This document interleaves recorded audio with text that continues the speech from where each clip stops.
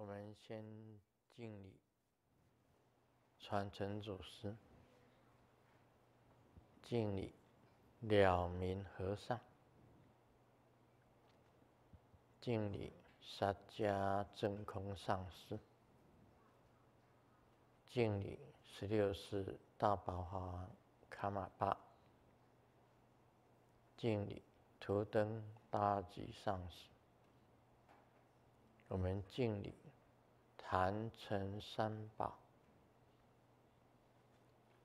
敬礼。今天同修的本尊，大慈大悲。观世音菩萨，千百亿化身，师母，丹真嘎措图登西地。各位上师、教授师、法师、讲师、助教、堂主，以及各位同门，还有网络上的同门，大家晚安，大家好。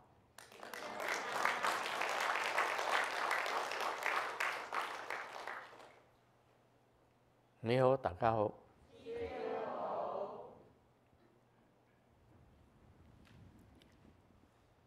愛してる。シャラゲ。オラアミコ。ケケロムチョ。すごい。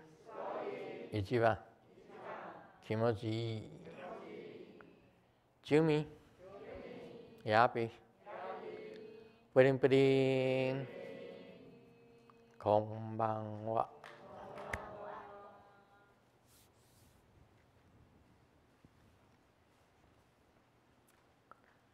啊，今天是同修观世音菩萨本尊法啊。这个每一次 Saturday night a o k a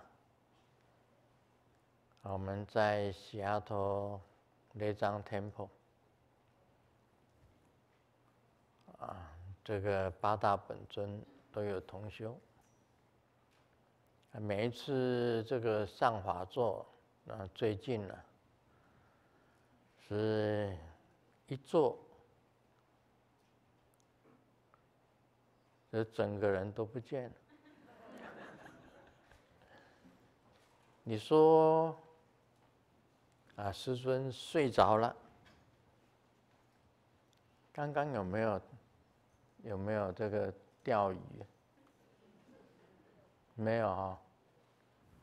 你看嘛，这练出来了，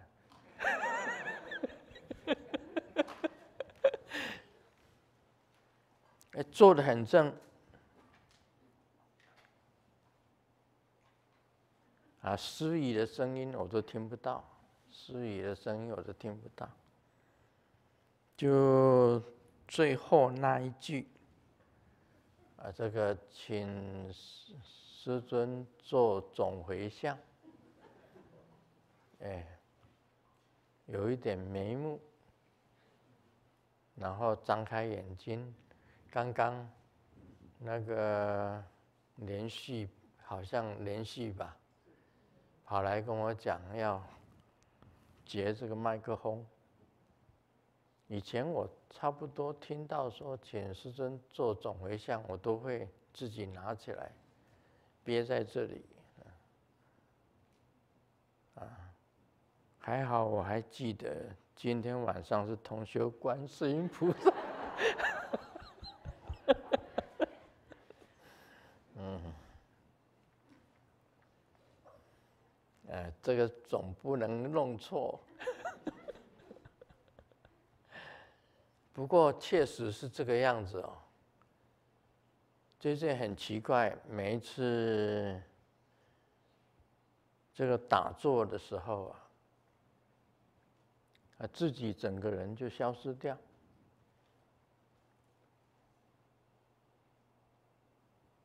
那我也看不到前面有多少弟子啊，像今天晚上，我不知道有多少弟子，我也不知道我坐在哪里。那，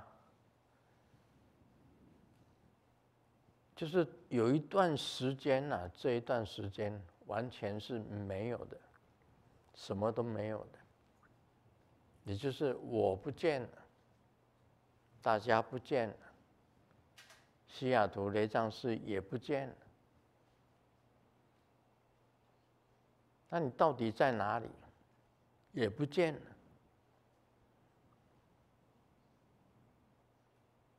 啊，就是这个状况，我觉得这样子很好，符合我们符合我们讲《金刚经》的，无我相，无人相，无众生相，无寿者相，时间也也不见，我也不知道我做多久，这通通都不见了。时间，我也不知道。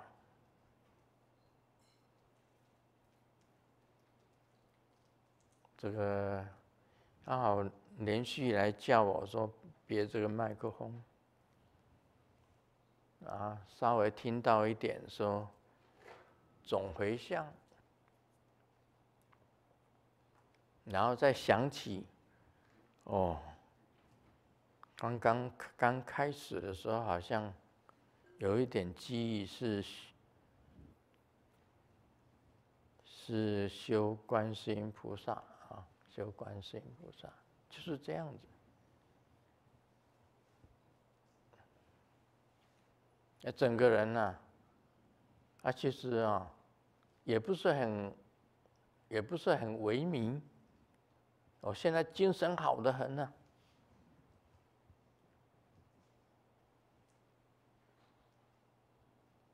你说太累了，睡着了也不是，根本还是清楚的，这个心中明白，当然也没有心了，但是始终还是有一点，有一点清明啊，清明的这种现象，清清楚明白。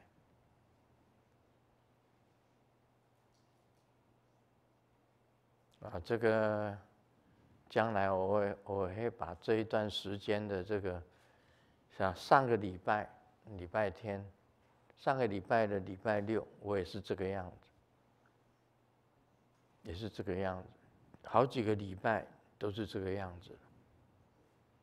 啊，最近打坐也是这个样子，一打坐，人就不见了。有时候一坐。晚上，这个差不多一点的时候一坐，然后也不知道坐了多久，时间根本就，然后看我自己那个那个墙上，等到眼睛张开的时候，看自己墙上的那个钟是四点。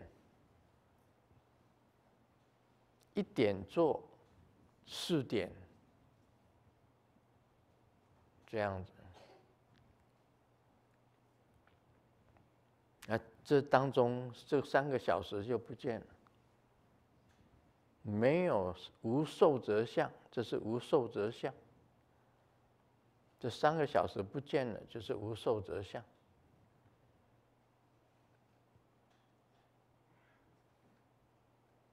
这个我遇到这个贤手菩萨，贤手菩萨，我问说这是什么状况？贤手菩萨回答：不存在的存在。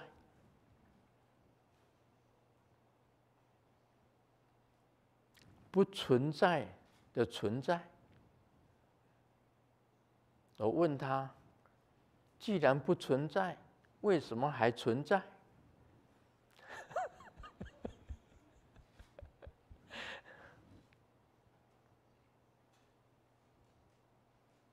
呃他跟我讲呃，其中有物。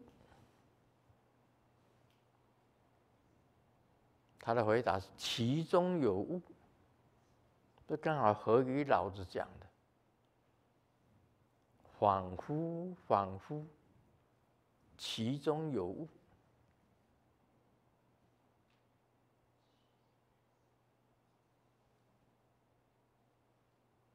然后我就很高兴的对贤首菩萨讲：“哇，哇，我成就了耶！我成就了。”他没有，他没有讲粗话，是我自己讲粗话。说屁了，成就，屁了，什么成就？你自己认为如果有成就的话，就产生了高傲的心，你就不是成就者。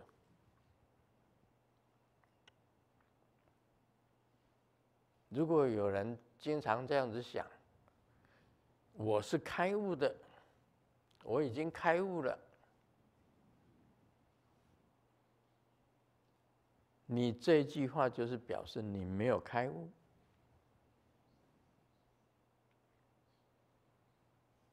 那要怎么讲？我问前首菩萨要怎么讲？他说。不可说，就是不要，也不要讲。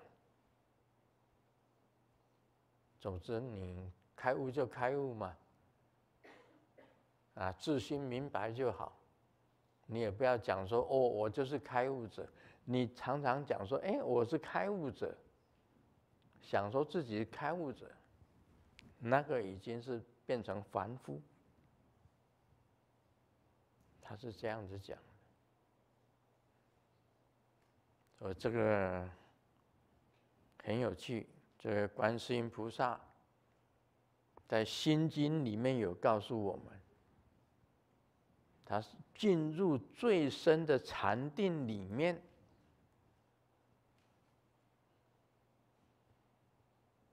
他是色不异空，空不异色，色即是空，空即是色。完全没有了，色空都不见了。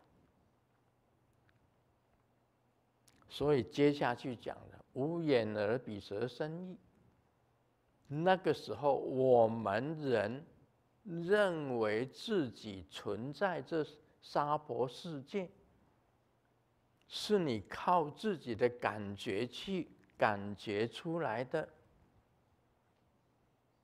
什么感觉？你眼睛看嘛，眼睛你你有看到啊，耳朵有听到啊，鼻子有嗅到啊，舌头有味觉啊，身体有触觉啊，还有你的，你有想法，有念头啊。是你用这种六种感觉去觉得你存在这个娑婆世界。如果没有这六种感觉，你根本就不存在这个世界。所以有有一个这个就是存在哲学。这个笛卡尔吧，叫做笛卡尔。他写说：“我思故我在，因为我有想，所以我在。我思故我故我在，就是我见故我在，我听故我在。哦，还有。”因为有呼吸，故我在；因为有味觉，故我在；因为有触觉，故我在。最后的是，我有思想，故我在。当你这六种感觉都没有的时候啊，就是观世音菩萨的禅定境界。无眼耳鼻舌身意，无色声香味触法，无眼界，无无明，亦无明明尽，无就是无无明也都没有了。所以卢世尊呐，告诉大家，《心经》里面讲的，就是正悟的真理。《金刚经》里面所讲的，就是正悟的啊经典，也是真理，也是真理。人是活在感觉之中，如果没有感觉了，就什么都没有了。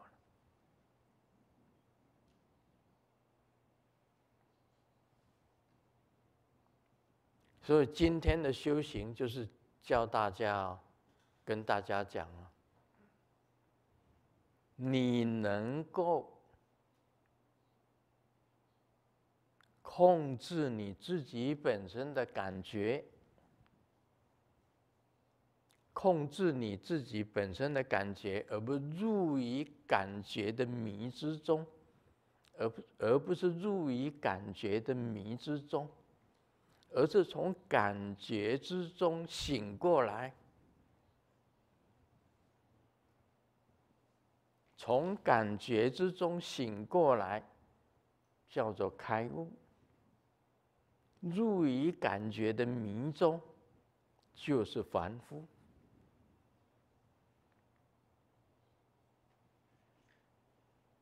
而你能够。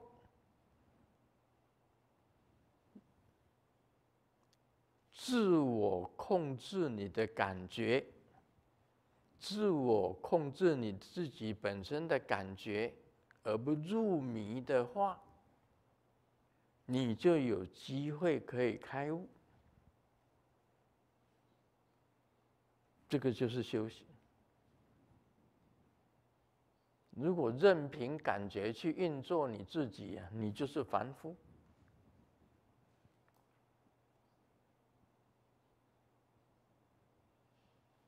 而你能够从感觉里面跳出来，你就是开悟。那今天跟大家讲哈，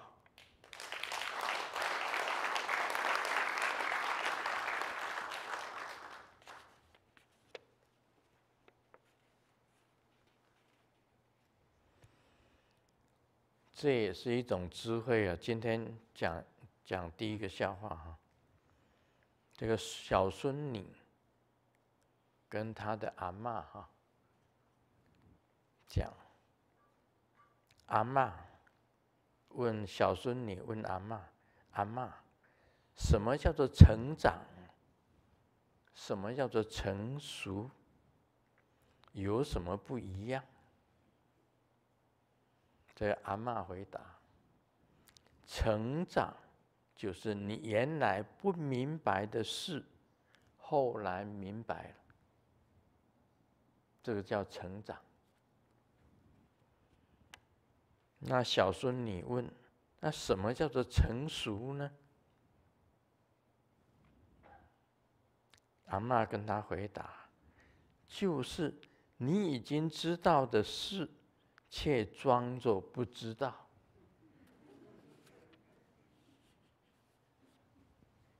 你已经知道的事，却装着不知道。所以师尊是知道什么叫做开悟？但不是每天跟人家讲我是开悟的我是开悟的我是开悟的。不要这样子讲。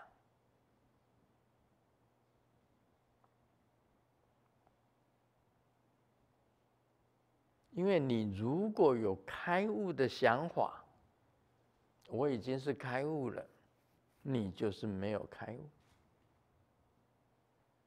因为开悟的知道，空无一物，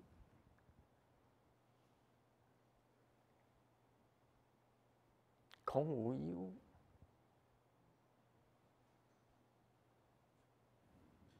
那人间是什么呢？人间就是 play game，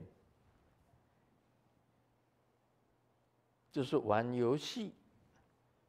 你在玩一种游戏，你就是在游戏。你在游戏当中还能够保持着你自己的清明，这个就是开悟。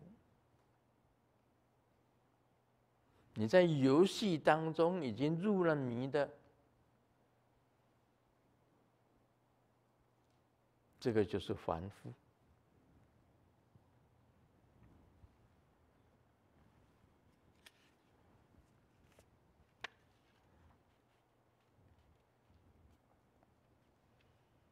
老板将一笔讨债的任务交给美丽又怀了孕的。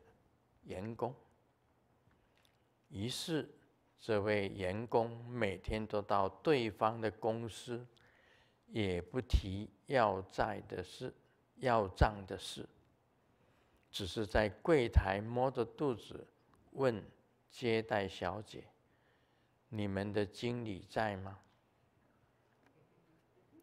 半个月后，欠债的老板。打电话给我的老板，钱可以一分不少还给你，但请你那个女员工跟我老婆解释，她真的只是来讨债的。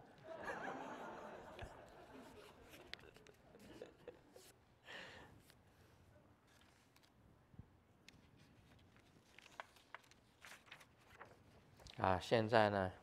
进入你问我答。这个台湾的莲花玉泉问的，敬礼至上的化身，莲生法王圣尊佛安。弟子想请问圣尊：一。大幻化网金刚，据传说是八大哈鲁嘎合一变现的法身，因此弟子们在灌顶过大幻化网金刚后，能翻越八大哈鲁嘎的仪轨吗？八大哈鲁嘎的仪轨。大幻化网金刚，据传说是八大哈鲁嘎合一变现的法身，因此弟子们在灌顶过大幻化网金刚后，能翻越八大哈鲁嘎的仪轨吗？二，请问圣尊，金刚颂要修到什么程度？才知道可以开始取修保平气呢？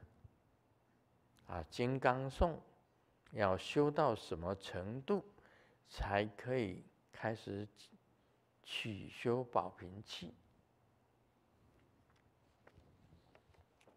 这是两个问题啊。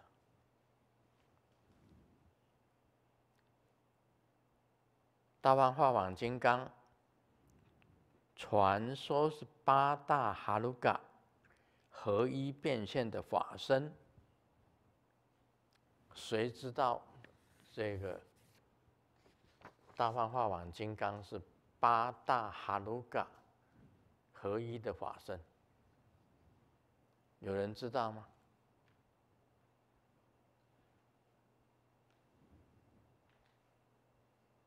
这句话。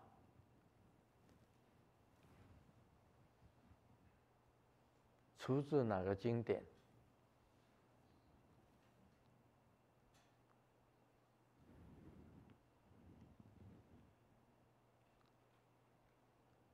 八大哈鲁嘎。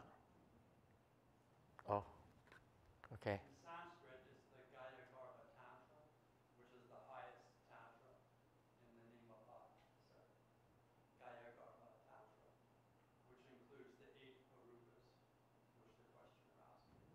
好，那个。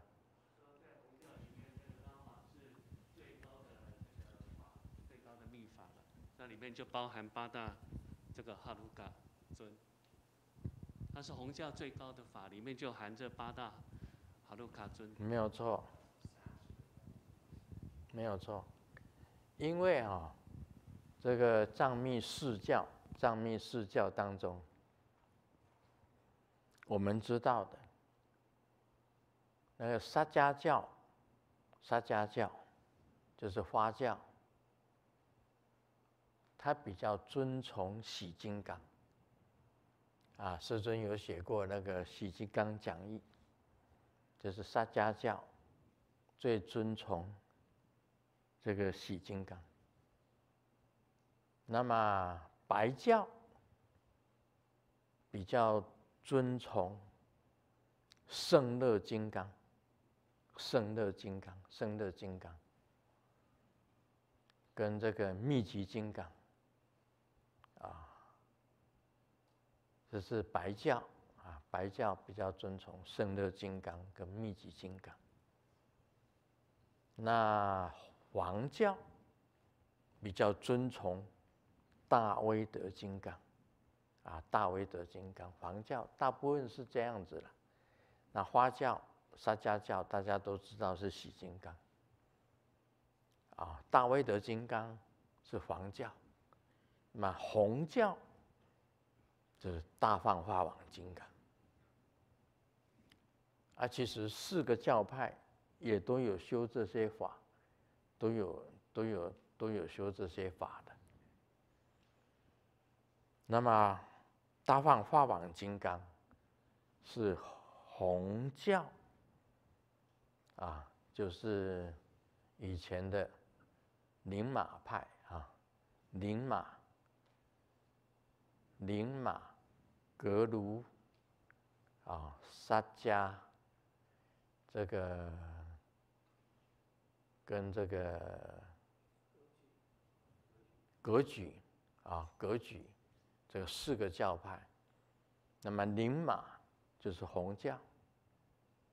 啊，宁玛派就是红教，红教是属于旧教，也就是莲花生大师所传的。啊，他的这个金刚是大放化王金刚。那个十人金刚是属于四个教派共同尊崇、共同尊崇，所以这里面包括五大金刚法。这藏密的五大金刚，密集金刚，啊，密集金刚，圣乐金刚，喜金刚，大威德金刚，大放化王金刚，就是五大金刚，五大金刚法。另外呢，有的时候啊，是把十人金刚也加进去，就是变成五啊五大金刚法。是这样子的。那八大哈鲁嘎合一的变现的法身，因此弟子弟子们在灌顶过大放法王金刚后，能不能翻越八大哈鲁嘎的仪轨？啊，我请示一下，因为这个是他提出来的问题，一般人很少说。去去说哦，你灌顶了大放化王金刚以后，你就可以在灌顶八大哈，就可以翻越八大哈鲁嘎的仪轨。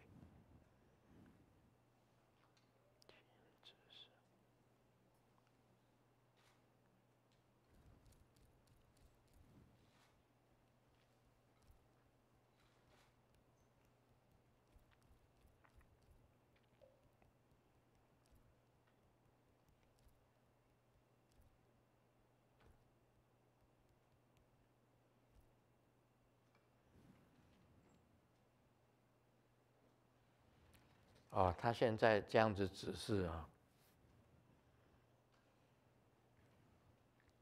他讲有的可以啊，灌顶过大放法王金刚，有的可以翻阅八大哈鲁嘎的仪轨。他说有的不可以。那么我有问他，为什么有的可以，有的不可以？他说：“你修大放法网金刚的时候，修这个大放法网金刚，你亲自见了大放法网金刚的本尊，你就可以翻阅八大哈鲁嘎的仪轨。”当你开始起修大放化网金刚的时候，你还没有相应，没有看到本尊，你不可以翻阅八大哈鲁嘎的衣轨。所以讲有的可以，有的不可以。这意思就是在这里。啊，请大家那个注意一下。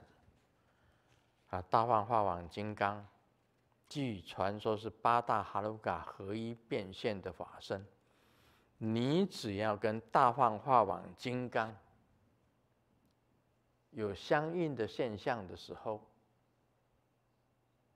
你就可以翻阅八大哈鲁嘎的仪轨。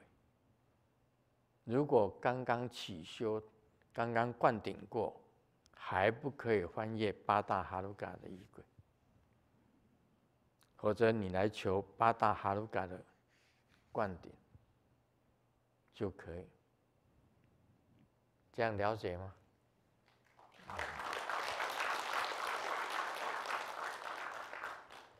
请问圣尊，金刚颂要修到什么程度才知道可以开始起修保平器呢？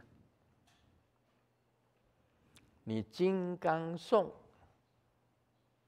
你修金刚颂，念到你自己感觉到，你身上有气，你有没有感觉到你身上有气呢？应该可以感觉到的，像这个气呀。只要印到这个指头，他手掌就会张开、合起来，啊，打开。这个不是我叫他打开的，他自己会打开、会合起来，印到指头。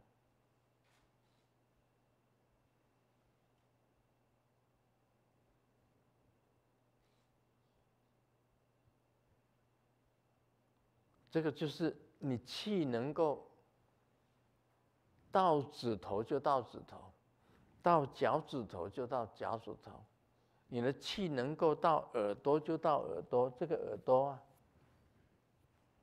啊，气运到耳朵。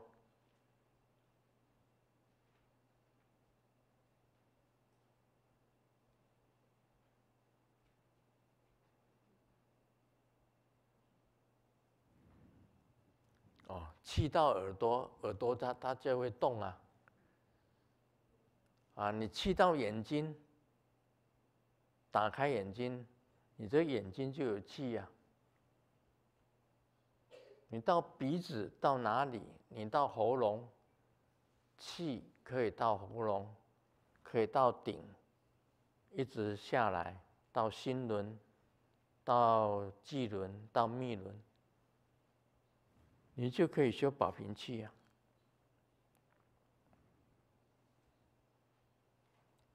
所以先修金刚颂，修到你知道你身体有气，你就可以了。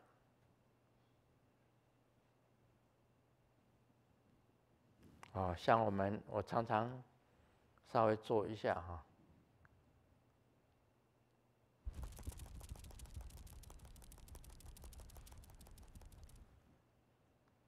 这个气可以到这个牙齿啊，那牙齿都会，你有听到牙齿的声音吗？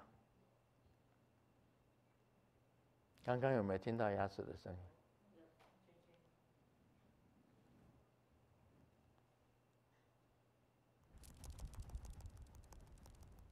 有没有？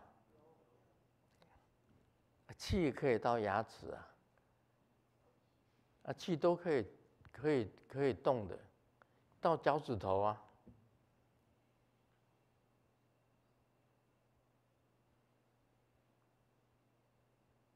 到前身的到偏行气，可以变偏行气。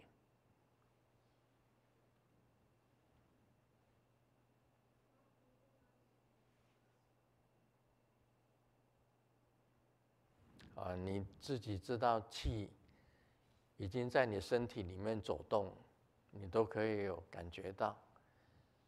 你当然可以修保平气，把那个些气集中在你的气轮，然后进入中脉，进入中脉啊，让中脉的气充满。当然可以修保平气，因为保平气就是让气进入中脉。就把外面的方便气变成中脉的智慧气，把平气就是这样子。好，你觉得身体有气，有修金刚颂，觉得身体已经有气了，就可以修把平气了。这个是他第回答第二个问题。那。再来是马来西亚莲花净圣问的，师尊好，弟子想问爱情的故事，爱情的问题。如果弟子在念咒请求佛菩萨加持一位女生，喜欢弟子，对弟子有好感，请问是不是如果专注在念咒的请求，就会成功？如果只念莲花童子咒可以吗？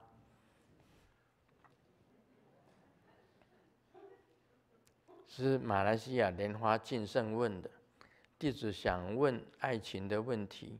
如果弟子在念咒请求佛菩萨加持一位女生，喜欢弟子对弟子有好感，请问是不是如果专注在念咒的请求，就会成功？如果只念莲花童子咒可以吗？他的问题哈，他爱一个女生，啊，请活菩萨加持这个女生喜欢他，对他有好感。我们要念什么咒？念敬爱咒，念敬爱咒。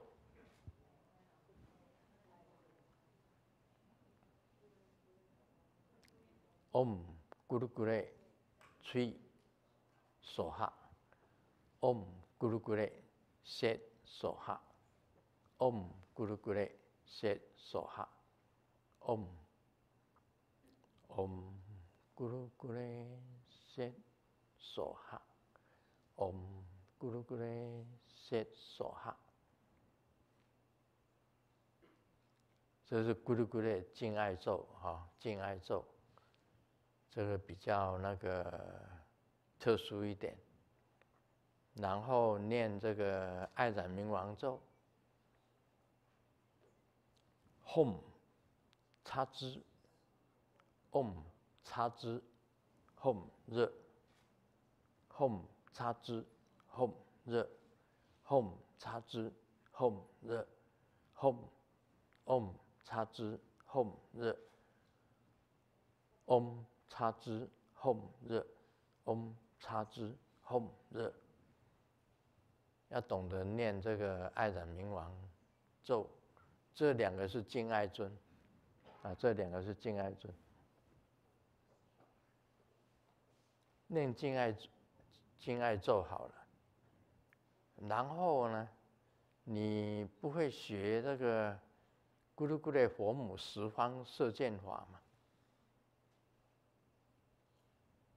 啊，这个摆布坛，啊布敬爱坛，然后供养咕噜咕噜佛母，弄十方射箭法的这个在前面，啊观想那个上方咕噜咕噜佛母，下方咕噜咕噜佛母，八方咕噜咕噜佛母。啊，变成这个一发剑，啊，观想那个女生在你的面前，然后花花的剑，flower 的这这个箭射向她，然后观想他这个过来，啊，跟你。跟你合一了，啊，观想他跟来跟你合一了，这就是这个就是爱情杠头，爱情杠，爱情杠，爱情杠很多法的。我上回教了一个人，这个叫不叫做迷魂，迷魂。娘子，迷迷魂娘子法，米粉娘子法，吃了那个符，有两个人的八字，吃了那道符就中了爱情杠头。今天连床上师啊，刚好在晚餐的时候有提到这个爱情杠，爱情杠，当然有这爱情的这个也有解的。也有来，但是也有解开的方法，因为有这个杠头，就有破这个杠头的方法。那密教里面的这个称为怀法，怀啊就是敬爱法，怀就是敬爱法。那我们敬爱两有两尊，啊敬爱有两尊，一个就是那个咕噜咕噜佛母。一个就是安然明王，安然明王这两尊。如果只念莲花童子咒可以吗？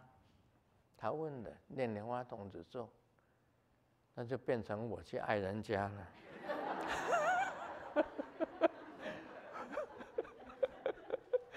或者人家来爱我了，啊，这。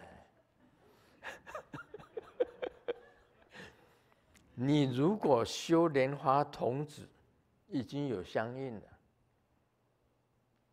你念莲花童子咒，把它观想，他来爱你，那是可以的，那应该是可以的，因为你跟莲花童子相应嘛，你就是莲花童子啦，那一定是可以的。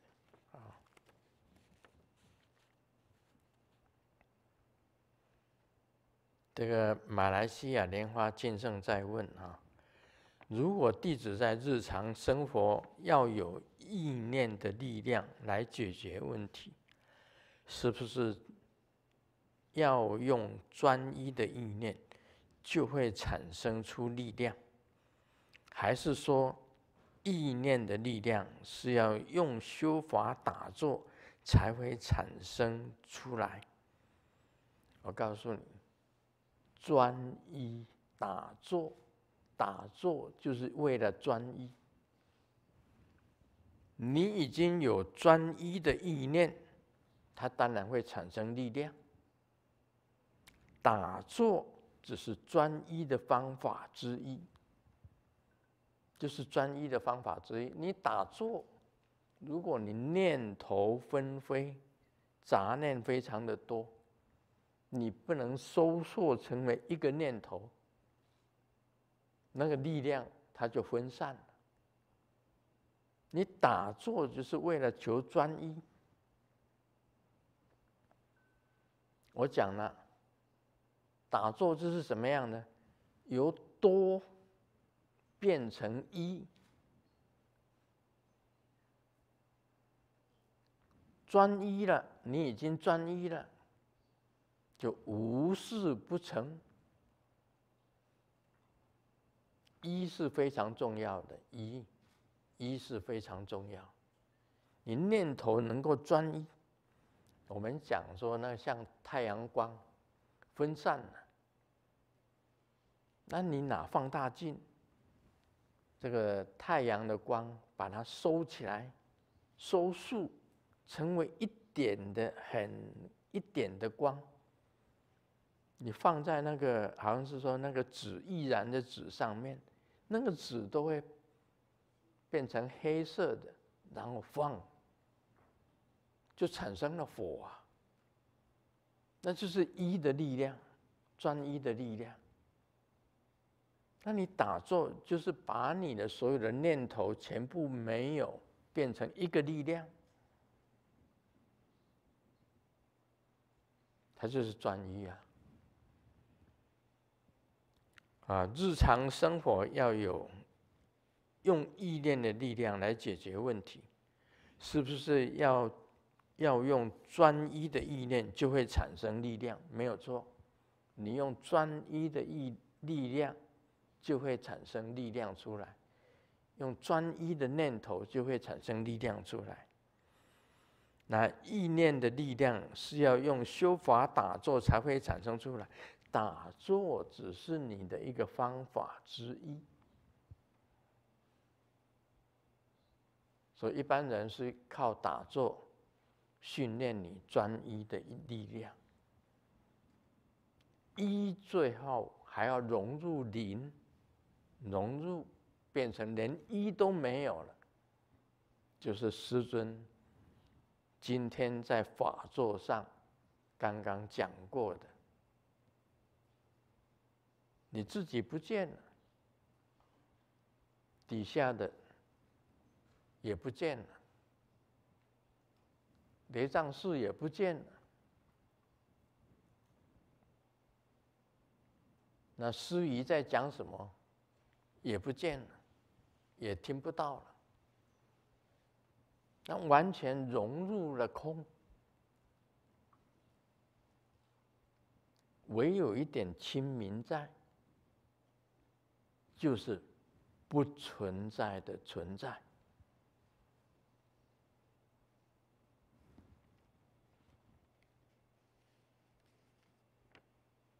啊！这是回答马来西亚莲花净圣的。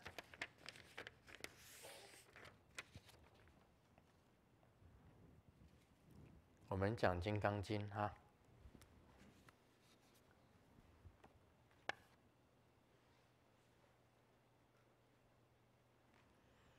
老公讲完了，车子坏了。老婆讲：“亲爱的，找一个地方住一晚吧。”老公说：“找地方住有什么用？”老婆说：“讲以前啊，不是车子坏了，你都找个地方住一晚吗？这个隔天车子就好了吗？”老公。老公回答：“那是结婚以前的啦，这一次是真的坏了。”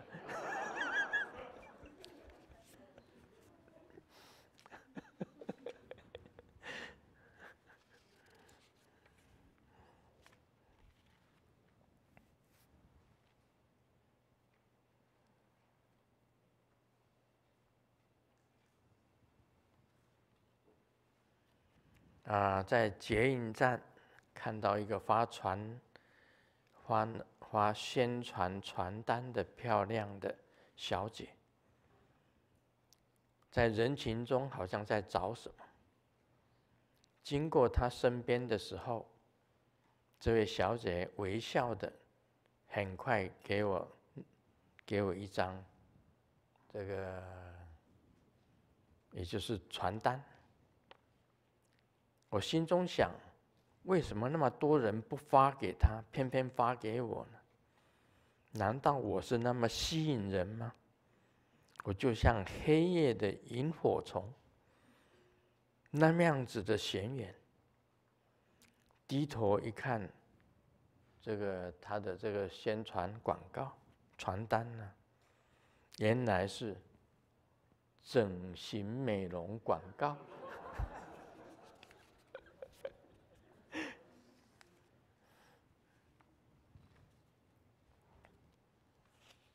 好了，我们讲《金刚经》吧。持经功德分第十五，这里谈到，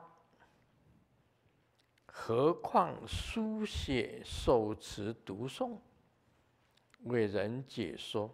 须菩提，以要言之，是经有不可思议、不可称量、无边功德。如来为发。大圣者说：“未发最上圣者说。”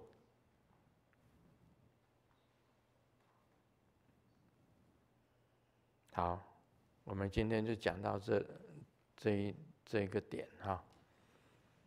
何况书写、受持、读诵，为人解说，须菩提，以要言之。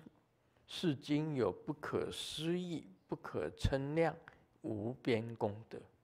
如来未发大圣者说，未发最上圣者说。啊，《金刚经》就是有人写《金刚经》啊，有人常常用笔来写来写这个《金刚经》。那么，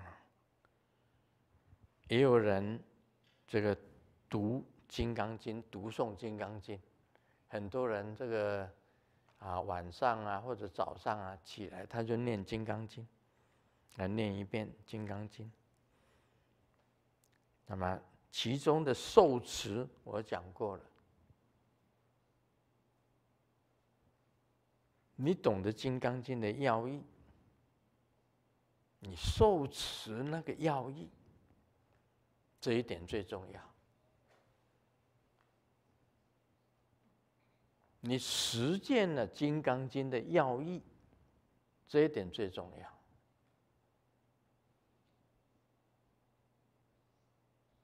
我们晓得了这个《金刚经》的要义，无我相。你单单要做这个无我相就很难。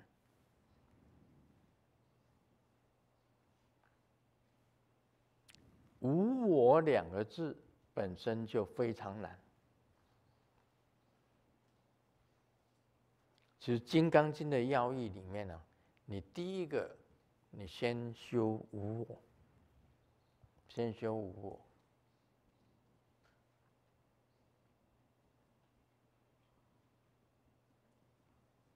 那你今天会不会发脾气呀？请问，从来不发脾气的人举手。我问你呀，没有人举手哎。可是每个人都有脾气啊，都有都有脾气，每个人都会有脾气的。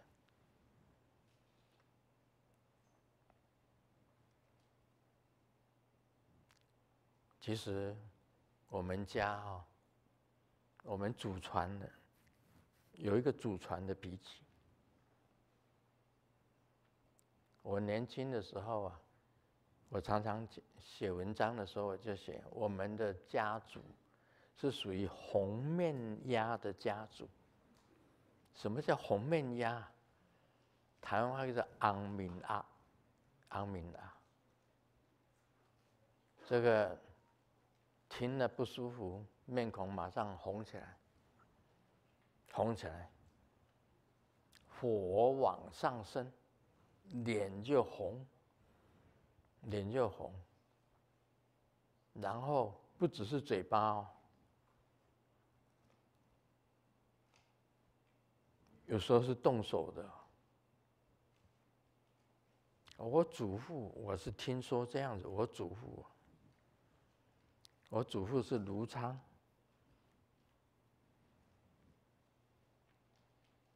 我祖父是卢，姓卢，那么一个武昌的昌哈，这个昌盛，两个字，两个两个两个字，两个太阳的字，武昌，卢昌，卢昌。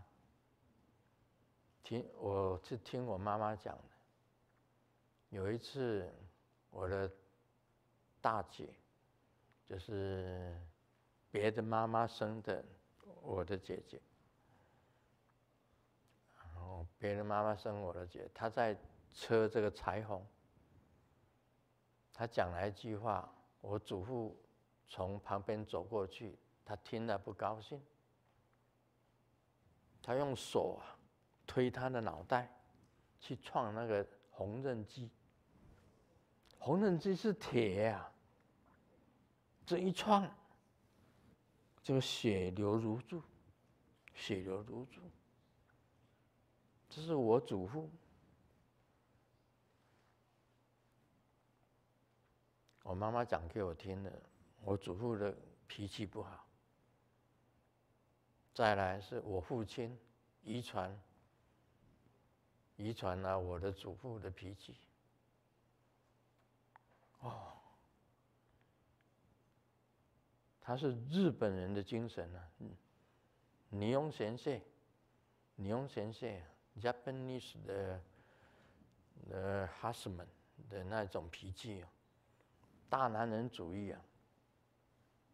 那我家有一个那个 bocan，就是木剑的木剑 Boken 呢。你知道木剑吗？木剑是很粗的木剑，前巴拉。木亚摩多摩萨西，木亚摩多摩萨西，木亚摩多摩萨西，就关本武藏。啊，他的他的剑术很高明的，关本武藏的剑术，你看过他的电影《尼用 A》啊？他看过他的电影，他拿那个武士刀，这样子拿，这个燕盘剑术，佐佐木小次郎，燕盘剑术，咻咻，啊，之日，之日燕盘剑术，扫过去再扫过来，我被我父亲呐。打到那个木剑都断掉，那个木剑呢，木的剑呢，这样子打，啪，啪，啪，木剑都断掉。你说木头哎，那个是很纤维、很细的木头，很粗的，那个木剑都打到断掉。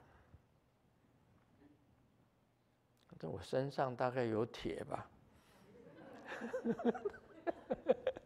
啊，铁铁可以克木，我身上不是肉啊，打到断掉啊！我转过头跟他讲，我会很生气哦。我跟他讲，我会记得你这样子打我。我永远会记得你这样子打我。我大概三岁的时候啊，有一次我不吃药，他从后面走过来，就把我从椅子上、饭桌上的椅子上抓起来，举到超过头，然后往空中抛。就像抛篮球一样抛出去，底下是水泥地板，你知道吗？我从空中这样子咻，啪！我妈妈赶快赶过来看，摸一摸鼻子，嗯，还有呼吸耶，还活着。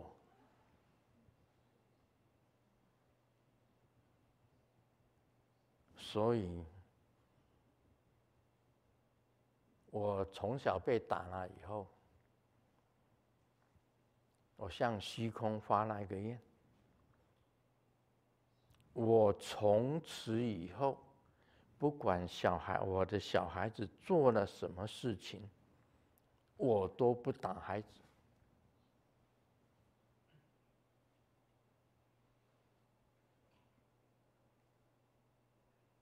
从我那个开始，我就没有打过孩子，我没有佛亲跟活妻，我都没有打过他们。只有一次，不是打他们，是我在打坐，他们两个在旁边嘻嘻哈哈的这样子玩，我在静坐，他们两个在嘻嘻哈哈那边玩。啊，两个人推来推去，推来推去这样子，我就伸手推了他们两个一下，就只有那一次，我推了佛清跟佛起一下，把他们推走，推了一下，他们都永远记住我推他们一下。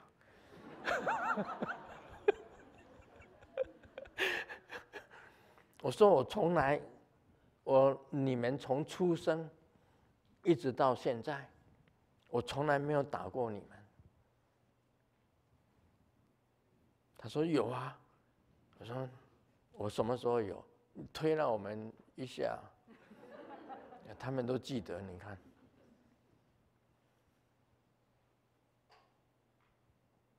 所以脾气是每一个人都有的。当你修到无我了。你根本就是圣人呐！你没有自己了，你只做布施的工作，像菩萨一样做布施，每天都是在救人，在帮忙人家，没有我自己，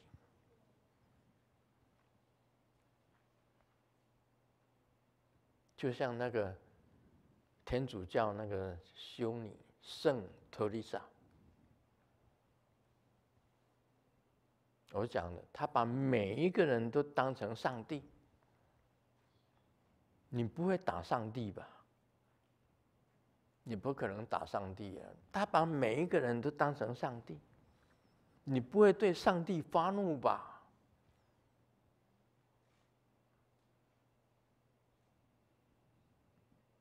只有用慈悲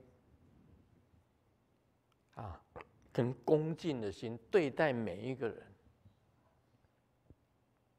圣特丽莎是这样子，他还有一点很重要的，就是连万上师讲的，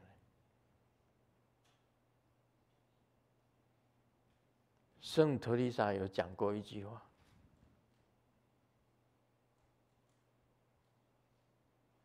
将来如果我丰盛，天主教有丰盛圣人，我不会到天国，我不想去天国，我要处在人间娑婆世界最黑暗的地方，继续去帮助众生。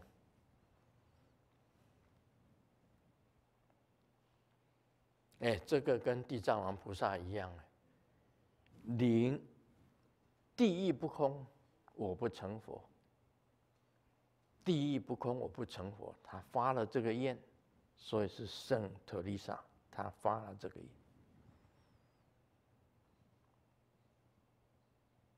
他不会到天国，就算我成了圣人，我也不会到天国，我永远处在。最黑暗的地方，去帮助众生，这个是圣人。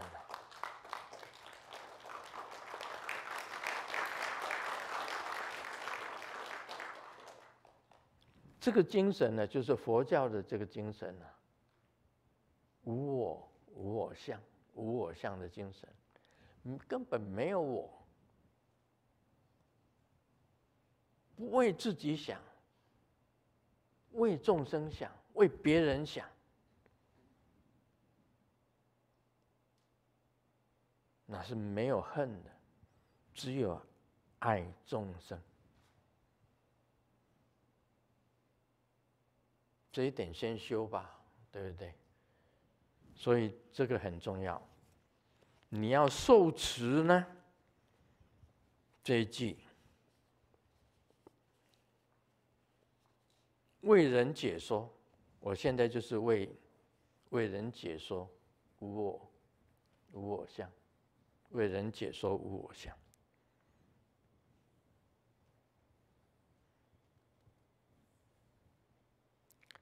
你要受持《金刚经》的要义最重要，而且为人解说，为人解说什么是无我相。像圣陀利萨，像地藏王菩萨，就是无我相。他没有没有到到了这个，好像是说四圣。他本来就是四圣界的，但是他本来就是圣人，但是他宁愿处在宁愿处在最黑暗的地方去服务众生的人，他不会有恨的，这个恨是没有的，恨恨仇恨仇恨是没有的，所以啊，我很尊敬我的父亲。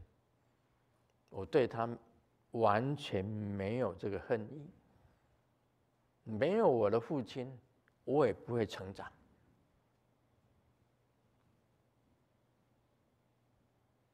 所以不应有恨，我跟众生都不应有恨，我不恨任何一个人，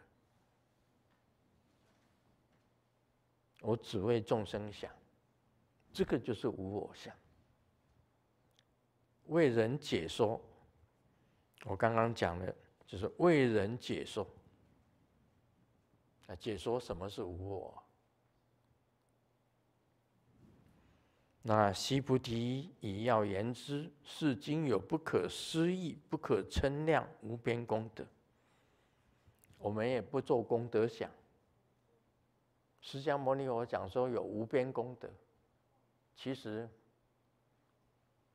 心里想着我这样做有功德，那就是没有功德，因为你不做功德想，这个才是功德。所以我们做任何一件事情，不要有功德想，因为你没有功德想，你才是功德；你如果有功德想，就不是功德。你没有功德想，就是无边功德。释迦牟尼佛讲的啊，不可思议，不可称量，没有办法比较的，它是无边际的，无边际的功德。如来为发大圣者说。为化最上圣者说，释迦牟尼佛是为大圣的人讲的，为最上圣的人讲的。佛教有五圣，五圣，一个是人圣，一个是天圣，啊，一个是声闻圣，一个是菩萨圣。一个就是佛圣，人圣讲的就是随心所欲而不逾矩，随你的心去做，随顺众生去做，但是不超过规矩，就是守戒，不要超越超越那个规矩。那个规矩就是戒律，你随可以随心所欲、随顺去做，但是你不要超过那个规矩。我们懂得人生做人的道理啊，孔子啊、孔夫子啊，中国的圣人孔夫子，这样专门讲礼乐啊、礼乐诗书义。啊，他专门讲这些东西，《论语》里面所讲到的，孔子、孟子的学说，都是讲人圣，人圣，这是也是属于佛教的。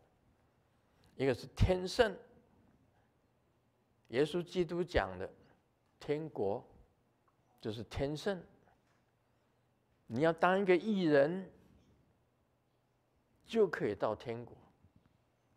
这个义日啊，义啊，忠义的这个义日，你要做一个艺人，规规矩矩的做人，只是一个艺人，你就可以到天国，那是天圣。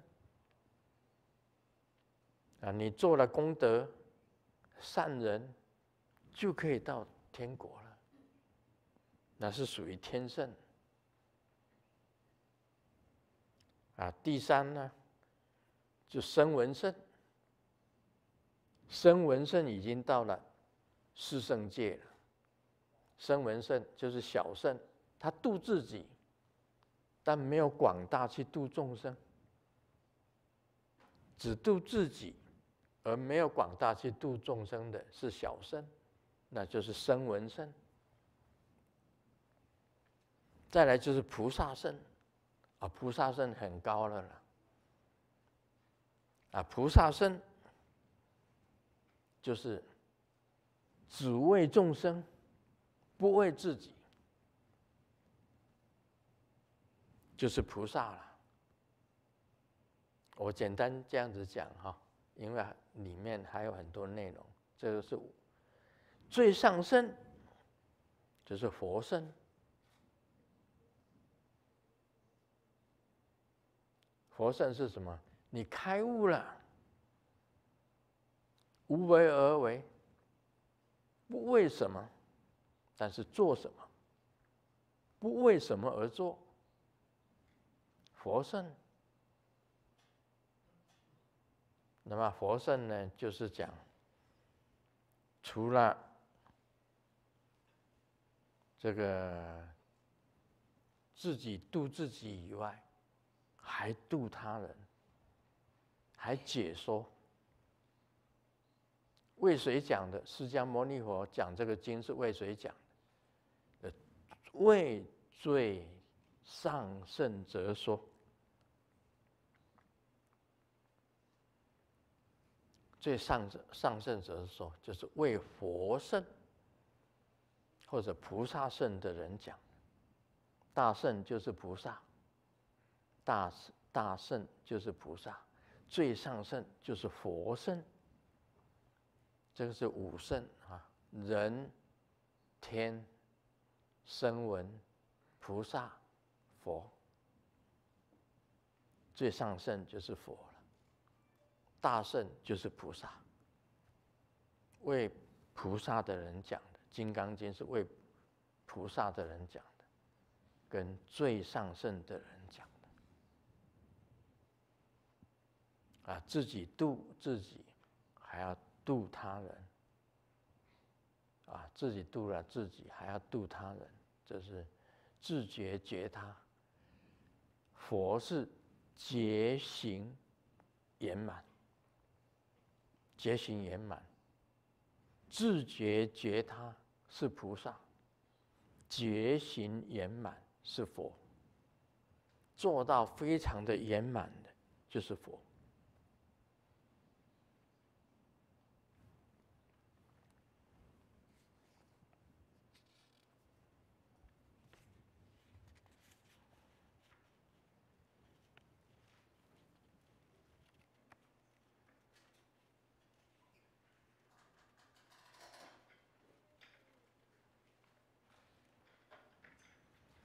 跟老婆逛街，我不小心被鸟的屎，这个打中了我的，在我手背上。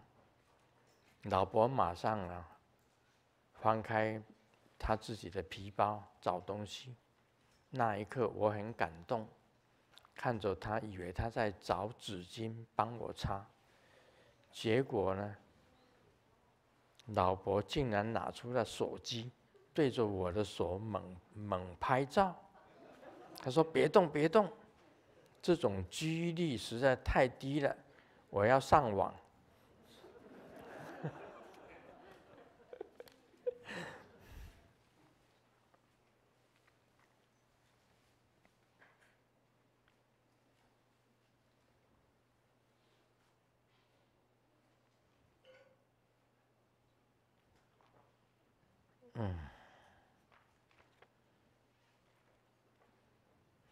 老伯买了一件一千五百块的衣服，我说觉得有点贵哦。老伯讲贵，我跟你说，这件衣服原价是三千元，现在特价打了对折，便宜了一半，就等于我赚了一千五百元。虽然我花出去一千五百元。但同时又赚回来一千五百元，所以这件衣服等于是免费的，你懂吗？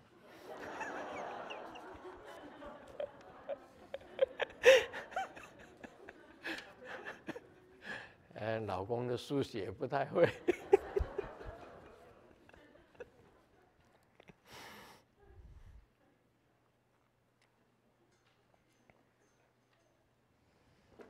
晚上跟老婆看电视，突然手机有人发赖，响了一下，正准备打开来看，被老婆一把抢了过去。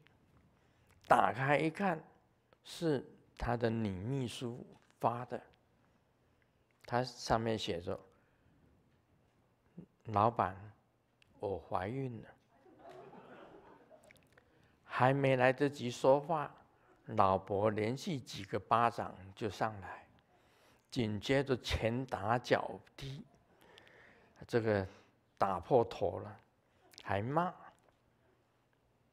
在一分钟以后，女秘书又发了那个难。明天我带我的男朋友去见父母，想请假一天，不好意思。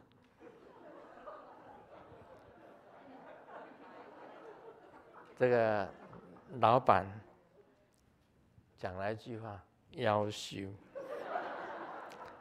那那也不一次发完。